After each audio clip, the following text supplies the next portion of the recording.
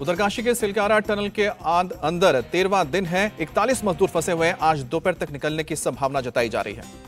Tunnel में drilling कर रही ऑगर मशीन का प्लेटफॉर्म कल टूटा था। 50 मीटर की ड्रिलिंग के बाद ड्रिलिंग के काम को रोकना पड़ा। टनल में ऑगर मशीन के प्लेटफॉर्म को रिपेयर कर लिया गया है। महज 10 मीटर की ड्रिलिंग अभी बाकी है। ऑगर मशीन के रास्ते में आए डेढ़ इंच मोटे स्पाइरल लोहे के पाइप को हटाया गया। जल्द ही ड्रिलिंग का काम शुरू किया जाएगा। उत्तराखंड के सीएम पुष्कर सिंह धामी मौके पर मौजूद है। फंसे हुए मजदूरों से उन्होंने बात किया उन्होंने जल्द भरोसा दिया है कि उन्हें बाहर निकाला जाएगा। उत्तरकाशी सुरंग में फंसे श्रमिकों के लिए सुबह बनाया गया खाना कई बोतलों में पैक करके भेजा गया। ये ऑपरेशन युद्ध की तरह है समय सीमा नहीं बाँध सकते हैं। उत्तरकाशी टनल रेस्क्यू ऑपरेशन पर एनडीए ने बयान दिया। रेस्क्यू ऑपरेशन का केंद्रीय मंत्री वीके सिंह और मुख्यमंत्री पुष्कर सिंह धामी ने समीक्षा की टनल के अंदर जाकर जायजा लिया। रेस्क्यू पर बोले international tunnel specialist Arnold Dix हम फंसे मजदूरों को बिल्कुल करीब से निकाल लाएँगे। उज्जैन के महाकालेश्वर मंदिर में विशेष पूजा की गई। उत्तरकाशी में सुरंग के अंदर फंसे मजदूरों की सुरक्षा के लिए की गई प्रार्थना। जम्मू कश्मीर के राजौरी में सुरक्षा बलों और आतंकियों के बीच मुठभेड़ जारी। सेना के दो ऑफिसर समेत पाँच जवान शहीद हुए। सुरक्षा बलों ने अब तक लश्कर ए तैयबा के दो आतंकवादियों को ढेर किया। एक आतंकवादी की पहचान पाकिस्तानी नागरिक के तौर पर की गई। सेना के प्रवक्ता के मुताबिक मारा गया पाकिस्तानी आतंकवादी लश्कर का कमांडर था। राजौरी में आतंकवाद को फिर से रिवाइव करने आया था। मुठभेड़ में सेना के एक मेजर और एक जवान घायल। सुरक्षा बलों ने कालाकोट के पूरे इलाके की घेराबंदी की। शहीद कैप्टन शुभम गुप्ता के पार्थिव शरीर को उनके घर आगरा लाया गया है। बीजेपी सांसद राजकुमार चौहर ने जाकर श्रद्धांजलि दी। शहीद कैप्टन एम वी प्रांजल का पार्थिव शरीर आज बंगलुरु लाया जाएगा। मंगलुरु के रहने वाले कैप्टन प्रांजल को दी जाएगी श्रद्धांजलि। राजौरी में आतंकवादियों से मुठभेड़ में जान गंवाने वाले पाँच जवानों को दी गई श्रद्धांजलि। जवानों ने शहादत को किया सलाम। इसराइल हमास के बीच आज से चार दिन की सीज फायर लागू। कतर के प्रवक्ता ने किया ऐलान।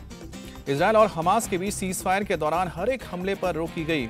हवाई और जमीनी कार्रवाई भी लागू रही। कतर के प्रवक्ता के मुताबिक हमास ने सौंपी रिहा किए जाने वाले बंधकों के नामों की लिस्ट। आज दोपहर तक तेरह महिला और बच्चों समेत पहला ग्रुप किया जाएगा रिहा। सीज फायर के समझौते के मुताबिक इसराइल उनतालीस फिलिस्तीनी कैदियों को करेगा रिहा और एक बंधक के बदले तीन फिलिस्तीनी रिहा किए जाएँगे। हमास थाईलैंड के 23 बंधकों की बिना शर्त रिहाई के लिए तैयार। ईरान की मध्यस्थता के बाद हमास हुआ तैयार। इसराइल हमास जंग का आज 48वां दिन। गाजा पट्टी में अब तक करीब 13,300 फिलिस्तीनियों की मौत हुई। इसराइल ने सीज फायर लागू होने से पहले मध्य गाजा के रेफ्यूजी कैंप पर किया एयर स्ट्राइक कम से कम 12 लोगों की मौत। इजरायली एयर स्ट्राइक में कई रिहायशी मकान हुए। तबाह मलबे से निकाले गए शवों को अल अक्सा अस्पताल में ले जाया गया। इसराइली सेना ने गाजा के शाती रेफ्यूजी कैंप पर की कार्रवाई। हमास के कई ठिकानों और इंफ्रास्ट्रक्चर्स को तबाह किया। इजरायली सेना ने रिफ्यूजी कैंप पर रेड का वीडियो भी रिलीज़ किया है। आमने सामने की फायरिंग करते नज़र आ रहे हैं इजरायली सैनिक। इजरायली सेना ने रेड के दौरान भारी मात्रा में हथियार जब्त किए। हमास के ठिकानों से पेट्रोल से भरी बोतलें भी बरामद हुई। इसराइल ने गुरुवार को गाजा पट्टी पर जारी रखी हवाई हमले। रात भर गाजा में दागे गए मिसाइल्स। केरल कांग्रेस ने फिलिस्तीन के समर्थन में एकजुटता दिखाई। इसराइल हमलों का विरोध किया। केंद्रीय गृह मंत्री अमित शाह का आज तेलंगाना दौरा। निजामाबाद में दोपहर साढ़े बारह बजे जनसभा को संबोधित करेंगे। अमित शाह आज तीन विधानसभा में करेंगे road show Rajendra Nagar Serilingampally और अमरपेट में करेंगे वोट अपील। बीजेपी अध्यक्ष जेपी नड्डा आज दोपहर हुजूरा नगर विधानसभा में जनसभा को संबोधित करेंगे। सिकंदराबाद और मुर्शिदाबाद में करेंगे रोड शो। रक्षा मंत्री राजनाथ सिंह आज हैदराबाद में संभालेंगे प्रचार की कमान। मेडचल कारवा और कंटोनमेंट एरिया में जनसभा को करेंगे संबोधित। तेलंगाना में कांग्रेस के चुनाव प्रचार की कमान आज संभालेंगे प्रियंका गांधी। सुबह साढ़े बजे पालुकुर्थी में करेंगे जनसभा? प्रियंका गांधी दोपहर डेढ़ बजे हुसनाबाद में करेंगी रैली। कोठागुड़म में दोपहर ढाई बजे जनसभा को प्रियंका करेंगे संबोधित। एआईएमएम चीफ असदुद्दीन ओवैसी आज करेंगे डोर टू डोर प्रचार। दोपहर तीन बजे से दीवान देवड़ी और जामिया नजामिया में करेंगे जनसभा। एआईएमआईएम नेता अकबरुद्दीन का दावा तेलंगाना में कांग्रेस की नहीं केसीआर की बनेगी सरकार। पुलिस वालों को धमकाने पर अकबरुद्दीन ने दी सफ़ाई कहा कि मेरे बयान को गलत तरीके से पेश किया गया। पूरे देश में परिवारवाद के खिलाफ लड़ाई लड़ रही है बीजेपी। तेलंगाना में जेपी नड्डा का बयान। परिवारवाद वाले आरोपों पर बोले टी एस सिंहदेव पूछा कि अमित शाह अपने बेटे के बीसीसीआई में होने पर क्या कहेंगे? चुनाव आयोग ने राहुल गांधी को नोटिस भेजा पीएम पर आपत्तिजनक टिप्पणी करने पर 25 नवंबर तक जवाब मांगा। सुप्रिया सुले ने राहुल को बताया मज़बूत नेता कहा कि चुनाव आयोग को गौरवपूर्ण जवाब देंगे। दिल्ली में आज चुनाव आयोग के सामने एनसीपी के दोनों गुटों की सुनवाई दोपहर बारह बजे होगी सुनवाई। शरद पवार अनिल देशमुख सुप्रिया सुले चुनाव आयोग के सामने पेश होंगे। अजीत पवार गुट से प्रफुल्ल पटेल और सुनील तटकरे रहेंगे मौजूद। देवगढ़ में कांग्रेस पर बरसे पीएम मोदी कहा राजस्थान को दंगों भ्रष्टाचार और पेपर लीक में नंबर वन बनाया। पीएम ने फिर की भविष्यवाणी तीन दिसंबर को बनेगी बीजेपी की सरकार गहलोत सरकार के अच्छे कामों को आगे बढ़ाने की कोशिश।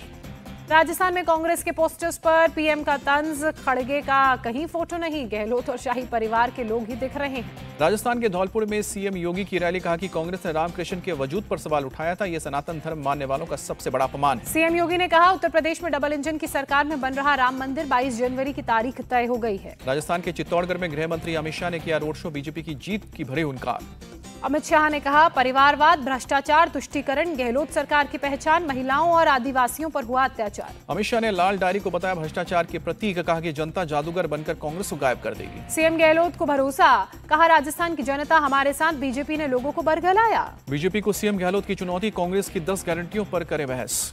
कांग्रेस की सात गारंटी राजस्थान में जीत रही पवन खेड़ा।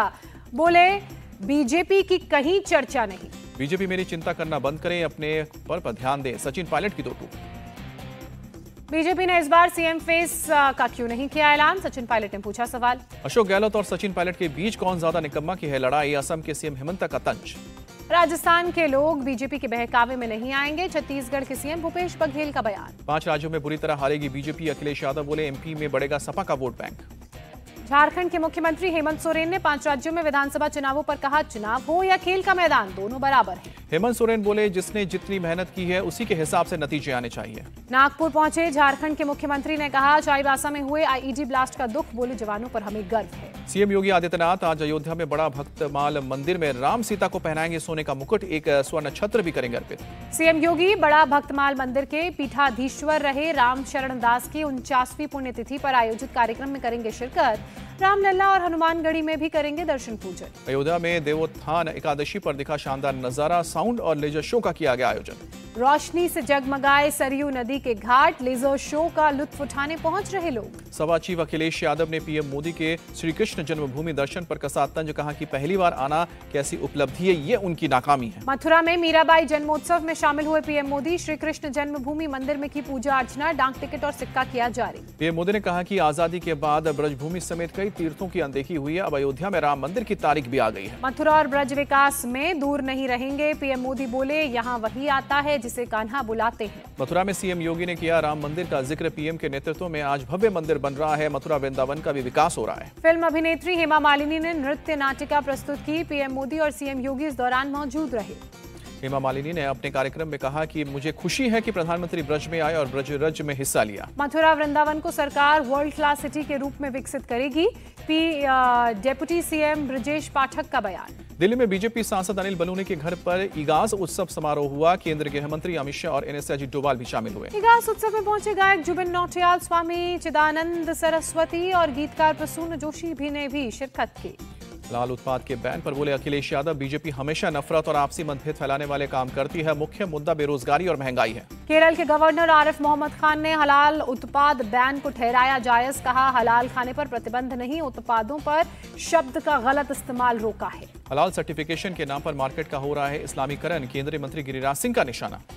एक्टर प्रकाश राज सौ करोड़ के पूंजी घोटाले और धोखाधड़ी मामले में फंसे मनी लॉन्ड्रिंग केस में ईडी ने समन जारी किया। ईडी ने प्रकाश राज को Pranav jewellers money laundering case में भी तलब किया है। चेन्नई की ईडी ऑफ़िस में 10 दिन के अंदर पेश होने को कहा है। महुआ मोइत्रा केस के बाद बदला नियम। लोकसभा सचिवालय का निर्देश सिर्फ़ सांसद ही कर सकेंगे ऑनलाइन सवाल सबमिट निशिकांत दुबे ने संसद की गोपनीयता को लेकर किया पोस्ट कहा कि महुआ मोइत्रा का केस चोरी और सीना जोरी का उदाहरण है। महुआ मोइत्रा को लोकसभा से हटाने की योजना बन रही है। ममता बनर्जी का बीजेपी पर निशाना।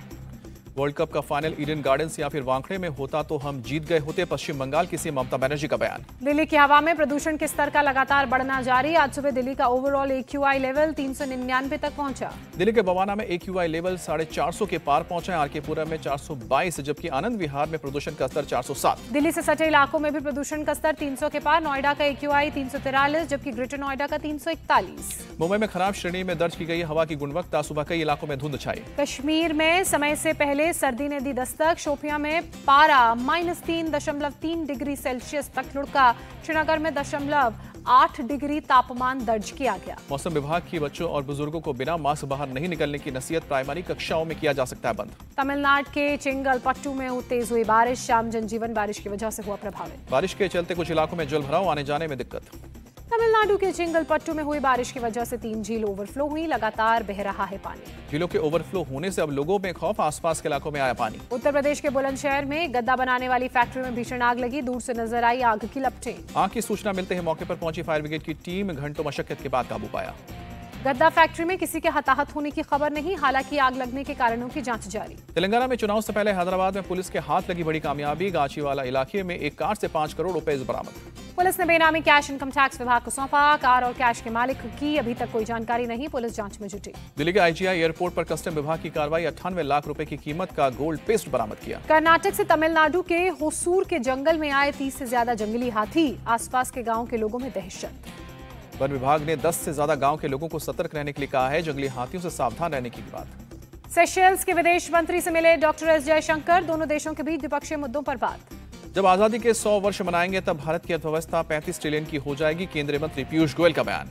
डीप फेक को लेकर केंद्र सरकार अलर्ट। अश्विनी वैष्णव ने सोशल मीडिया प्लेटफॉर्म के साथ की बैठक। डीप फेक को लोकतंत्र के लिए बताया नया खतरा। आईटी मिनिस्टर बोले समस्या से निजात पाने के लिए सरकार लाएगी नया कानून। डीप फेक की समस्या गंभीर इसे लेकर उठाने होंगे कदम। कांग्रेस सांसद मनीष तिवारी का बयान। नेपाल में फिर उठी राजतंत्र को बहाल करने की मांग। पूर्व राजा के हज़ारों समर्थकों ने काठमांडू की सड़कों पर प्रदर्शन किया। प्रदर्शनकारियों ने पूर्व राजा ज्ञानेन्द्र के समर्थन में नारेबाजी की। पुलिस के रोकने आरोप झंडे लेकर शहर के बीच घुसने की कोशिश की। पुलिस ऐसी प्रदर्शनकारियों की लाठीचार्ज भीड़ को तितर बितर करने के लिए आँसू गैस के गोले दागे गए। वाटर कैनन का भी इस्तेमाल हुआ। पुलिस के बल प्रयोग में कुछ प्रदर्शनकारी घायल हुए। प्रशासन ने शहर के अहम जगहों पर प्रदर्शन को बैन किया। दक्षिणी यूक्रेन के खेरसो में एक गाँव पर रूस का अटैक तब करीब पाँच लोगों की मौत। रूसी रॉकेट अटैक में सात रिहायशी और कारोबारी इमारतें तबाह हुई। रूस ने क्लस्टर बम से किया हमला। दक्षिणी यूक्रेन में एक रूसी पत्रकार की भी जान गई। रूस के कब्जे वाले इलाके में हुए ड्रोन अटैक में जान रूसी मीडिया के मुताबिक पत्रकार रिपोर्टिंग के सिलसिले में खुले मैदान में था। ड्रोन अटैक का शिकार हुआ। आयरलैंड की राजधानी डबलिन में एक स्कूल के पास चाकूबाजी की घटना तीन बच्चों सहित पाँच लोग गंभीर रूप से घायल हुए। अमेरिका के इंडियाना में एक छोटा विमान क्रैश हुआ हादसे में पायलट की मौत हुई।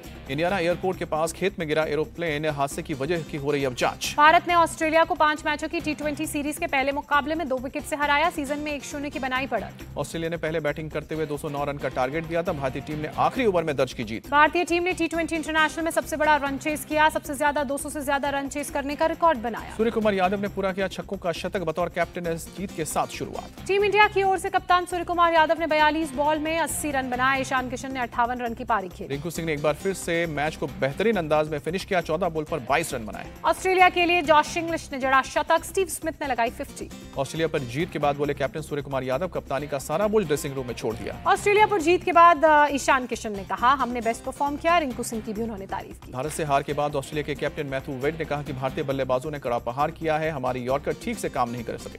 भारत की जीत पर फैंस ने जश्न मनाया। इंडिया इंडिया के लगाए नारे तिरंगा भी लहराया।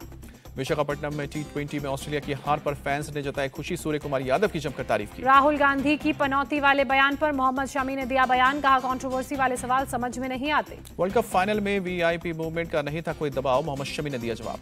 पीएम मोदी की मुलाकात को लेकर मोहम्मद शमी ने कहा प्रधानमंत्री आकर हौसला बढ़ाते हैं तो अलग ही कॉन्फिडेंस आता है। बेन स्टोक्स आईपीएल नहीं खेलेंगे वर्कलोड और फिटनेस मैनेजमेंट के कारण लिया फैसला। भारतीय विमेन क्रिकेट टीम 2014 के बाद पहली बार टेस्ट क्रिकेट खेलेगी। इंग्लैंड और ऑस्ट्रेलिया से होगा टेस्ट मैच भारतीय टीम की कैप्टन हरमनप्रीत कौर ने कहा कि लंबे समय से हमने टेस्ट क्रिकेट नहीं खेला है। कम समय में तैयार होना बड़ी चुनौती। जम्मू कश्मीर के पुंछ में बॉक्सिंग चैंपियनशिप का आयोजन। कई जिलों की टीमों और खिलाड़ियों ने लिया हिस्सा। बॉक्सिंग में पुंछ के लड़के ओवरऑल चैंपियन रहे। रामबन की लड़कियाँ रही अम्पल रणबीर कपूर और रश्मिका मंदाना की आगामी फ़िल्म एनिमल का ट्रेलर रिलीज़ पिता के प्यार में जानवर बन बैठे बेटे की कहानी। विलेन के तौर पर बॉबी देवल का खूंखार लुक रणवीर के पिता के रोल में नज़र आएँगे। अनिल कपूर एक दिसंबर को रिलीज़ होगी एनिमल